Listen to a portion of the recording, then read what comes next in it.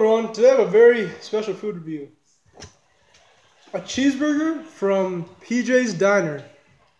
And uh, let me just tell you, this is really good taste. It has a ton of meat, a ton of cheese. That's the first thing I saw. It has a ton of meat. Um, I would say 10 out of 10 on taste. Two. I'm not dropping. Uh, um, Cost free. Once again. I'm not getting involved. In uh, I didn't buy this, but the cost. Pro- Uh, we know I heard the cost is probably we about a five. So PJ PJ's Diners cheeseburgers. The first thing is they give you a ton of meat, really good taste, uh, decent cost and health.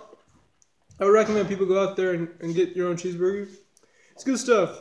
Uh, lots of meat and uh, well cooked meat. I would recommend it.